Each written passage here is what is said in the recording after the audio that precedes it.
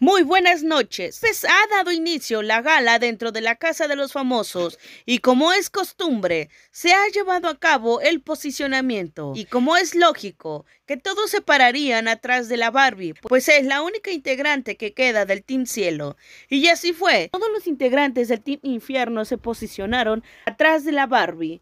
Ellos dieron sus excusas, pero Lejos de que fueran excusas negativas, fueron cosas positivas, deseándole lo mejor cuando ella salga y lo orgullosos que estaban de ella del haber llegado hasta donde está. Lo que más llamó la atención fueron las palabras de Sergio Mayer, quien le dijo que la veían allá afuera, pues él ya está 100% seguro que la Barbie abandonará la casa.